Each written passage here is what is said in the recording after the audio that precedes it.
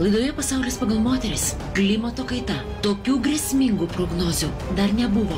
Jeigu mes dar norime išgelbėti planetą, nes greitai nebebus ką gelbėti. O floristinėme deserte - dviejų skirtingų proporcijų susijungimas - vientisoje interjero floristinėje dekoracijoje. Pasaulis pagal moteris - sekmadienį 10 per TV3. Filmavimas ir tiesioginės transliacijos. Video bankas.